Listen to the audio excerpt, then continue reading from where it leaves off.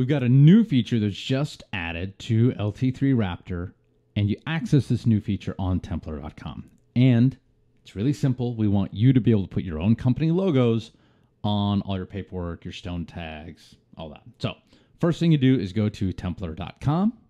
I've already done that. Templator.com, right? Um, and you'll see these new uh, little logo things with the looks like the claws ripped through something, right? Um, see the little pencil icon? That's where we'll edit these, right? So make sure you already have your logos ready to go. And just like any social media app, right? I'm to go import image, right? I'll pick, hey, here's a Raptor logo. I'm to click upload.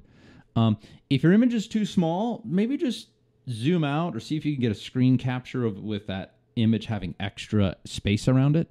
And I just take the little blue box, right? Once I've done import, uh, I'm going to scale, right? This this has to be a square, right? I, I just want to tighten this up maybe a little bit more. That might be too much. Here, I think that might look really nice. Okay, I'll hit update. And in just a second, we see that update there.